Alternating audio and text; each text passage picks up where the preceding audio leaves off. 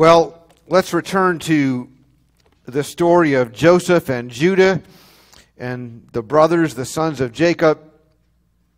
If you would open your Bibles to Genesis, the chapter, uh, chapter 45. We've gone through what? 37, 38, 39, 40, 41, 42, 43. Eight chapters so far, if I counted my fingers right. Chapter 45, 1 through 15. Then Joseph could not control himself before all those who stood by him. He cried, Make everyone go out from me. So no one stayed with him when Joseph made himself known to his brothers. And he wept aloud so that the Egyptians heard it, and the household of Pharaoh heard it. And Joseph said to his brothers, I am Joseph. Is my father still alive? But his brothers could not answer him, for they were dismayed at his presence. Then Joseph said to his brothers, Come near to me, please. And they came near. And he said, I am your brother Joseph, whom you sold into Egypt.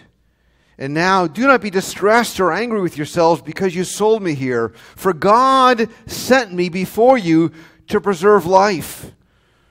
For the famine has been in the land these two years, and there are yet five years in which there will be neither plowing nor harvest.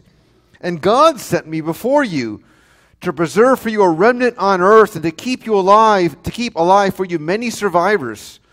So it was not you who sent me here, but God. He has made me a father to Pharaoh and lord of all his house and ruler over all the land of Egypt. Hurry and go up to my father and say to him, Thus says your son Joseph. God has made me Lord of all Egypt. Come down to me, do not tarry. You shall dwell in the land of Goshen, and you shall be near me, you and your children, and your children's children, and your flocks, your herds, and all that you have. There I will provide for you. And there are yet five years of famine to come, so that you and your household and all that you have do not come to poverty. And now your eyes see and the eyes of my brother Benjamin see that it's my mouth that speaks to you. You must tell my father and all my of all my honor in Egypt and of all that you have seen. Hurry and bring my father down here. Then he fell on his brother Benjamin's neck and wept. And Benjamin wept upon his neck, and he kissed all of his brothers and wept upon them. After that, his brothers talked with him. Let us pray. Oh Lord our God, only you bring peace. Only you bring reunion. Only you bring oneness. Only you, O God, forgive sin. Only you, O God, deliver from death. Only you, O God, give eternal life. There is no hope, no life, no peace except by Jesus. That's our confession. And that's why we are here. We are here because you are God and we are your people. And it is our deepest and greatest joy. So, Lord, we feed upon your word. It is life, it is the bread which nourishes us.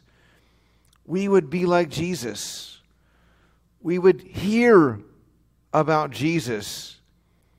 As the disciples said, Let us hear of Christ. We would hear of Christ alone. No other news but Christ. In his name we rejoice. Amen.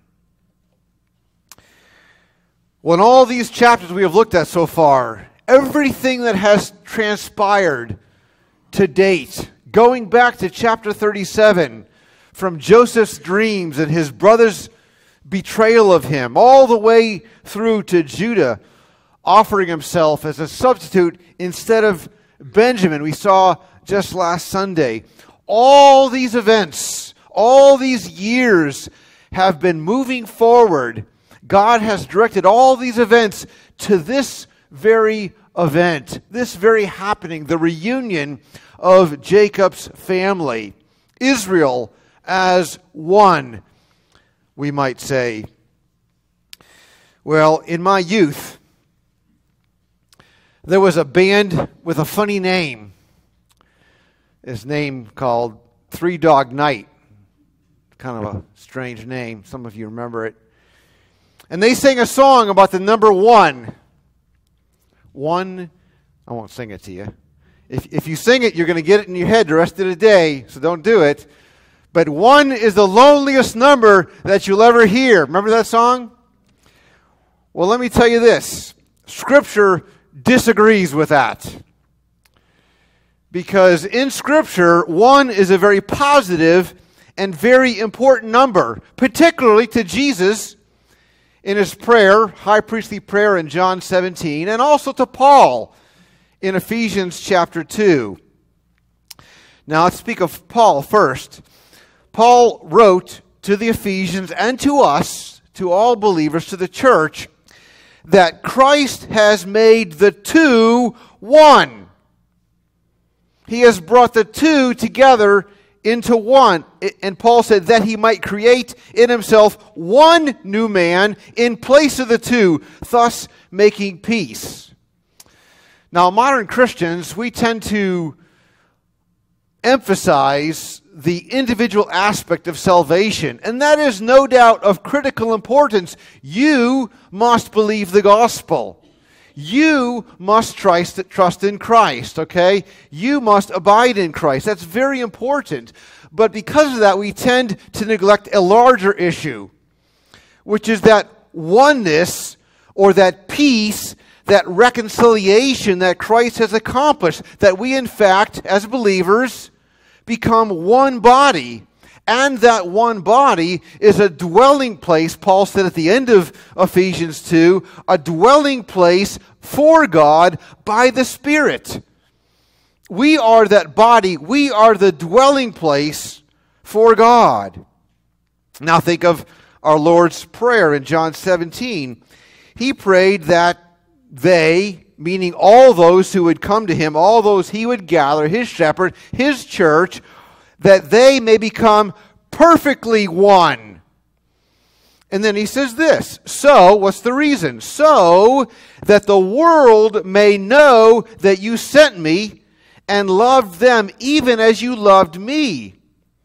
So, this realized oneness, if I can call it that, that Jesus accomplishes in the gospel, in his messianic ministry, is vital to the church's witness and mission. Because again, what Jesus is doing eschatologically involves the formation of one body or one family. This body who dwells with God in peace. And so, as, as we look in Genesis 45, this family reunion, which is described here, this coming together of the two, who's the two? Rachel and Leah, the divided parties, the divided families, okay? The wives and the, and the divided sons, they became one. How? Through the ministry of Judah by offering himself as a substitute for Benjamin in love for his family, bringing salvation and peace. And that offer foretells of the oneness or the reconciliation that Jesus accomplishes through his ministry as the Christ. Now, in the story, we see, as we read straight away, that when Joseph heard of Judah's offer in the previous chapter of this laying down his life for his family, of this offer of becoming a slave that his family could go home in peace and be safe. Well, Joseph knew that the past anger and the jealousy were gone, and that this new loving unity and willingness to give to the others had replaced this past division and enmity that had gripped the family for decades. And Joseph could no longer control himself. This man, so overcome with emotion, so overwhelmed by gratitude was he that his family had finally come together in this reunion of love. Now, I am convinced that you know that one of the greatest heartaches of life, of human life in this world, is broken relationships. they are incredibly painful. For example, and I think about this having performed weddings, having attended weddings, you watch the couple pledge their love in front of witnesses. And you know that later on, many of those couples will end up in divorce court with bitterness and anger, divided. Or you can think of broken friendships or church divisions. We all have, unless you're very young, we all have experienced broken, destroyed relationships. I have had people that profess to love me turn around and try to destroy my life. People who were in my house, eating bread at my table. You have as well. It's desperately painful. Well, conversely, one of our greatest joys is relational reconciliation, the healing of a marriage, the, the reunion of friends or a church or some relationships, okay? It's a time of great happiness, a time, a time of celebration and feasting, really, when those who seem to be permanently divided, irreconcilable differences, when by God's grace they come together in restored peace and unity. It's time to, fill, to kill the fattened calf. Remember when the prodigal son came back? The son who, who hated his father and asking for his inheritance, he was saying, Dad, I want you dead. I hate you. I don't want to be part of your family. I wish you were dead. I want my inheritance now. He came back. And the father threw this great party for his returning son. Joseph, we see, he wept aloud. He kissed his brothers. He wept. He was emotional. I recently experienced this joy, maybe not quite that much. But in recent weeks, it became clear to me that there was an issue between me and someone who has been very important to me for almost 20 years, I guess, and I to him each of us was upset with the other person. And so one day, about two weeks ago, I felt urged on by the Holy Spirit to, to give him a call. And I did. And I shared my concerns, and he shared his. And guess what? Each one of us had misunderstood the other. Each one of us had made an assumption that turns out wasn't true. And there was great happiness on that phone. There was a beautiful reconciliation. And it was a it was a tremendous joy to both of us. We prayed together. We thanked God for that phone call. He had prayed just the day before. He told me that that Mike would call me because he was hurting, and I was hurting for no reason. We had made just an assumption, but the reconciliation was beautiful. I will tell you this, and you know it as well problems and divisions and stresses and struggles will come to your relationships. I promise you. Guaranteed. Every one of your relationships will, if it's close enough, will have a problem, a sting, a, pro, a, a struggle at some point. Children, hear me. You will have struggles in your friendships, struggles with your future marriage, struggle with your future kids, and then with you. We are sinners. And I say you, you, you put two sinners together, it's like putting dynamite and a match too close together. There's going to be a bang someday, right? The only uncertainty is how you handle those problems. And so, because of the certainty of problems and because of our witness to God's peace in Christ, the Bible requires every one of us to pursue reconciliation and peace. It's simply not possible to witness to gospel reconciliation, to gospel peace, while there are divisions in our relationships. So when there are those breaks, when there are those struggles, when there is, when, when there is that disharmony, we are required to pursue peace. i give you two verses. You know them well, I'm sure. Matthew 18, 15. If your brother sins against you, go and tell him his fault. Just you and him, or just you and her.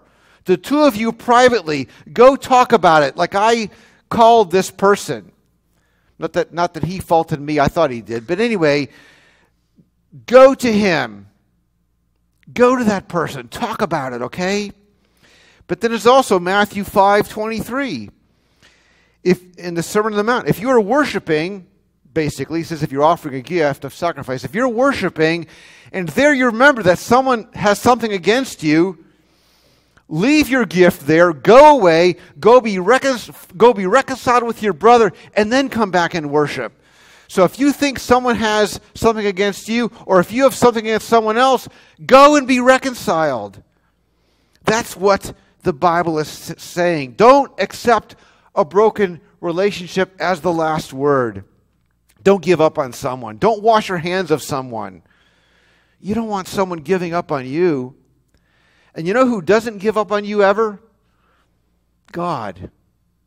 God does not give up on you. Think about it. Think of all your sins. Think of all your indifferences. Think of all of the times you don't pray, you don't read your word, you're, you're indifferent to Him. You go off and wandering. God is patient. God is long suffering. God is enduring. God does not say, I'm sick of Mike. He's done one thing too many. I'm walking away. God is patient. He is long suffering. Think about Jesus. I mentioned this verse earlier. For the joy that was set before him, he endured the cross. What joy was that? the joy of reconciling sinners with God, the joy of forgiving you and me. He endured the pain and prison that was rightfully ours. That's amazing. We see that in Joseph. And he said, It was not you who sent me here, but God. Why? Because God had this plan to save our family from this famine and many others to keep us alive. There's still five more years. If it wasn't for me being in Egypt sent by God, we would all perish in this famine. If God didn't send his son, we read it John 3:16, right? We would all perish in the famine of not knowing him. Let the reality of the gospel of reconciliation be the MO in all of your relationships. You're not an orphan. You are who? You're a son or daughter of the living God. And that means you're a member of his family, one with others in that family, his other sons and daughters. And the spirit of peace and unity dwells within you. So Paul said this also to the Ephesians I, therefore, a prisoner for the Lord, urge you to walk in a manner worthy of the calling to which you have been called, with all humility and gentleness, with patience, bearing with one another in love, eager to maintain the unity of the Spirit in the bond of peace. There is one body and one Spirit just as you are called to the one hope that belongs to your call, one Lord, one faith, one baptism, one God and Father of all, who is over all and through all and in all, one. one, one, one. Pursue spiritual oneness. Listen, my friends, you can separate from others, you can wash your hands of them, and you can experience spiritual poverty and loneliness, well, then maybe one is a bad number. And you can dishonor the Spirit of Christ, or you can experience, you can pursue oneness and experience the great joy of that restored peace and unity. That's what Joseph is experiencing right here because of his mercy, because of his love, because of his humility, okay? he had goosebumps of delight. His emotions came over him in these waves of happiness and joy. And then he sent people away, the others, and, and, in private he revealed his identity to his brothers. He said, I am Joseph. Can you imagine? I want to be a fly on that wall. Can you imagine the look on these brothers' faces? Are you for real? Joseph? Our brother, the one we sent off 22 years ago to slavery? The one before whom we just bowed down? Are you serious? Joseph? The second most powerful man on earth? Morris says it's perhaps the most dramatic confrontation and reunion in all literature. They were speechless, struck dumb. The ESV says they were dismayed at their presence. It actually, it actually means they were terrified. The ES, I think the NIV translates that. They were terrified in Joseph's presence because they knew that Joseph at that moment could have his way with them. And Joseph was going to have his way with them. And so he says, I love this. Come near, brothers. what would you be thinking? Would you be terrified? And Joseph, seeing that terror, he says, I'm your brother Joseph, whom you sold into Egypt. What's he doing? He's reminding them of the truth. Truth. He's reminding them of what they did. And that the man before whom they were standing, the, the second most powerful man on earth, the ruler of Egypt, before whom they had just bowed down, was the one they sold into slavery with malice and cruelty in their hearts, unforgiving, unmerciful. And he had been there ever since, all these years, cut off from his father and his family, not even knowing if his father was well or alive. They had sinned, and they had sinned terribly. Later on, he would say to them, straightforward, in straightforward language, You meant this for evil. You were cruel. You were mean. You were beyond that. You meant evil against me. Joseph was not whitewashing the truth. He was not going to pretend that, hey, he just came here on vacation and decided to stay. See, the truth, dear ones, must not be denied. It's so important to acknowledge our sins. It's critically important to acknowledge our sins I love what Spurgeon says, actually, pretty much all the time. But here's what he said one time Oh, there are many who quite misunderstand the gospel. They misunderstand the gospel. They think that their good works qualify them to come to Christ. Whereas sin is the only qualification for man to come to Jesus. What qualifies you to come into God's presence. Your good works? No. That disqualifies you. What qualifies you? Acknowledging that you are bankrupt in spiritual assets, that you are a desperate sinner. If you deny your sin, that's the certain way to remain unforgiven. John said it this way the Word of God if we say we have no sin, there is no truth in us. To be forgiven, you must acknowledge your sin. But here's the wonder of the gospel. And I bet you can recite this verse. If we confess our sins, He is. He is faithful and just to forgive us our sins and to cleanse us from all unrighteousness. Joseph is reminding his brothers that they had sinned desperately. They meant evil against him, but with God there is forgiveness. Amen. Look at what he says. Do not be distressed with or angry with yourselves.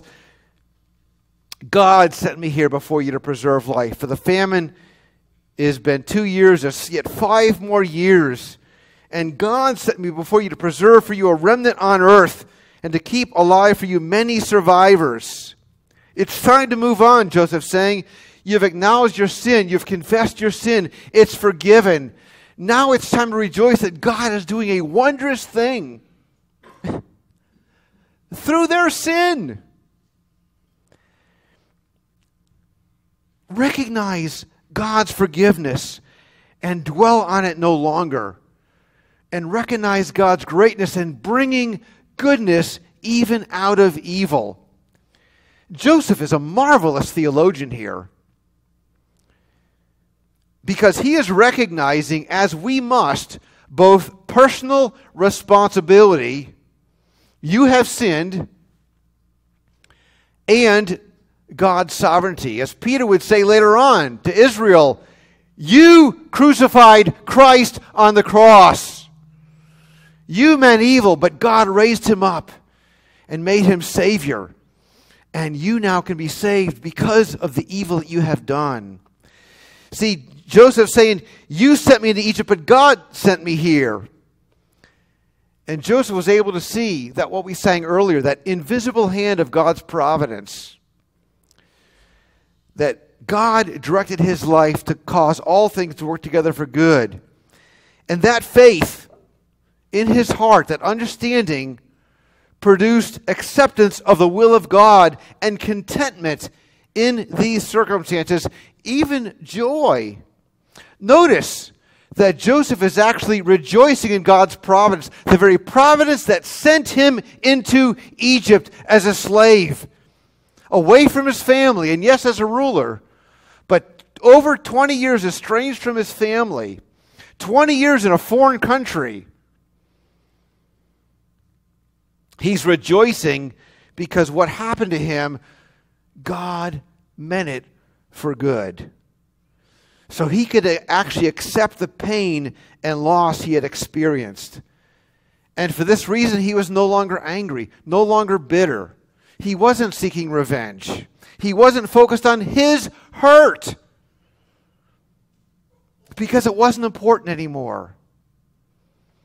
Because he was living for God's glory and for the good of other people. And if he had to bear some personal pain and trouble that others might receive the good, then he's okay with that.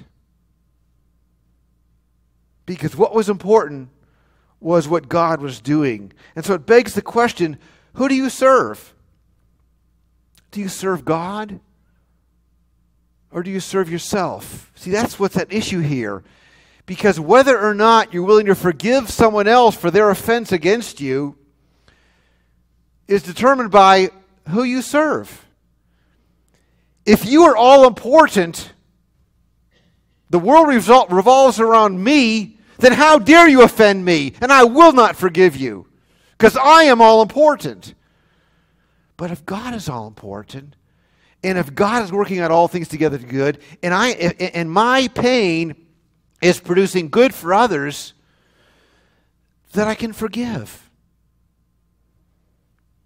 Because, God's going to redeem that pain and redeem that suffering for good.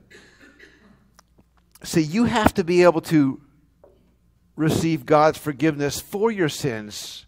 You have to first humble yourself, acknowledge your sins, forget, confess your sins, but then receive God's forgiveness for your sins. Because if you live with guilt, if you live with shame, and you, you, and you live thinking, God can't forgive me, God has rejected me, God has cast me away, then you won't be able to find peace, and you won't be able to seek peace with others. That's why Joseph's saying, don't be distressed any longer. Don't be angry with yourselves any longer. God has forgiven you. Accept his forgiveness in Christ. He's washed away your sins. And if you're feeling condemned for your sins, if you've come to Christ and you're feeling condemned for your sins this morning, that voice is not coming from God. Who's it coming from? Your accuser. It's Satan, the evil one. He's saying, You're not good enough. You're cast off. You're rejected. That's not Jesus. That's your accuser. What is God saying to you? He says this Come now, let us reason together. Though your sins are like scarlet, they shall be white as wool. Though they are red like crimson, they shall be like snow. Paul said, It is God who justifies. Who is to condemn? That means don't condemn yourself either.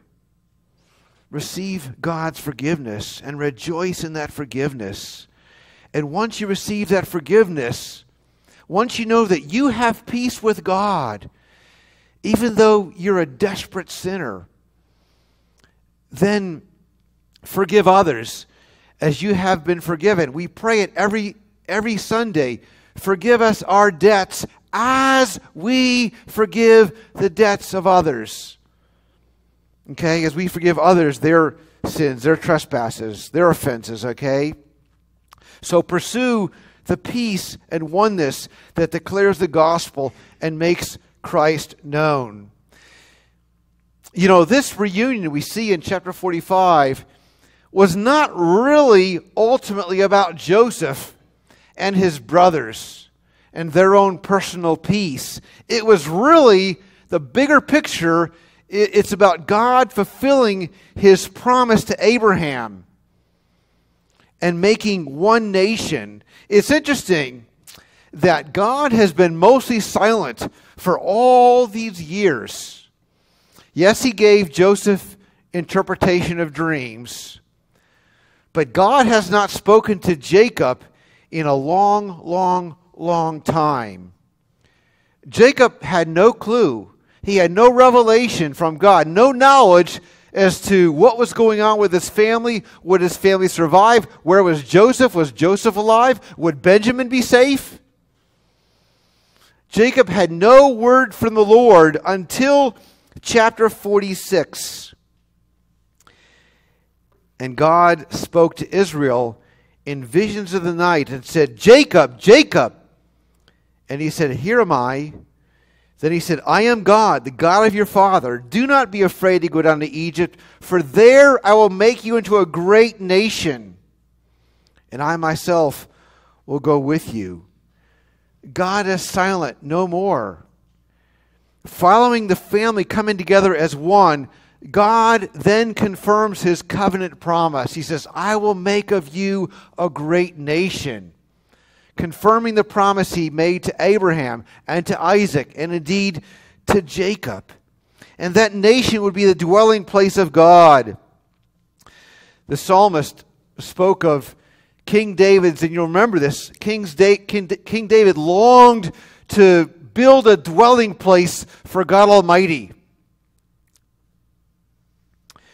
And the psalmist prophesied, The Lord has chosen Zion he has desired it for his dwelling place. This is my resting place forever. Here I will dwell, for I have desired it.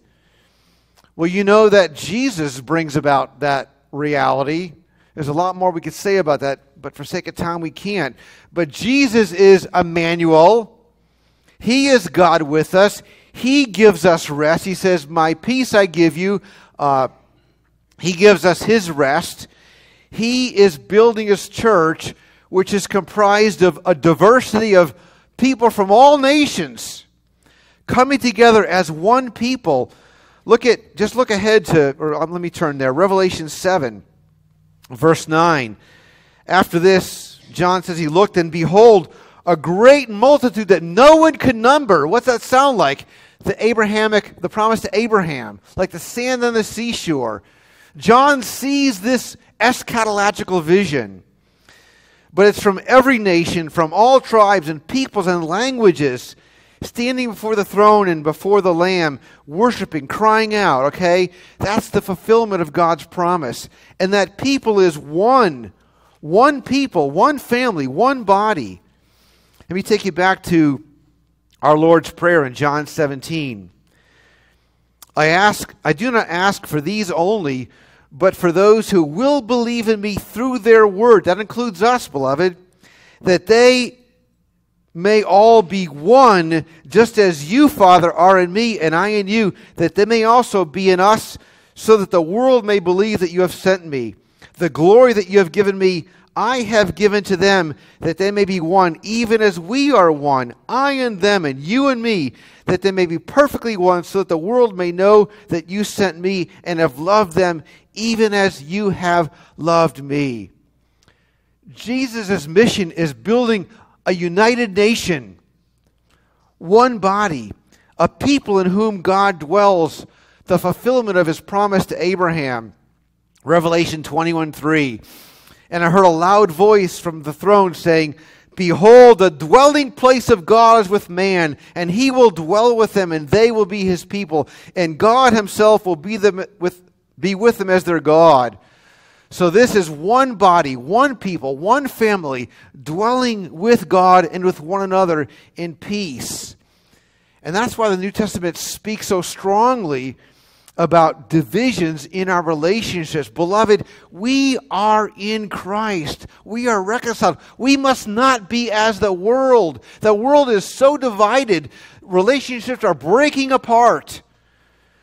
Racial reconciliation, uh, racial, racial divisions like I haven't seen since I lived in Detroit in the 60s when the, when the city was burning from racial riots. I remember those as a child. The world is divided. We, as believers in our marriages, our families, our church, with our friendships, we must be one in humility and mercy and forgiveness. Because when there are divisions in our relationships, you're really denying the very gospel of Christ. You're, pro- you're proclaiming a false gospel of judgment and condemnation. You're proclaiming law, not grace, in which Paul says, reject the divisive person. He's corrupt, he's warped, he's self condemned. So, whenever and wherever there are divisions and, and issues, pick up the phone, go to that person, pursue oneness, pursue reconciliation. Joseph brought his family back together to live in peace in the land of Goshen. And so we also are to dwell in unity and peace, proclaiming the gospel of Christ the gospel of reconciliation, oneness. So, one, in that case, is the most wonderful number that you'll ever do.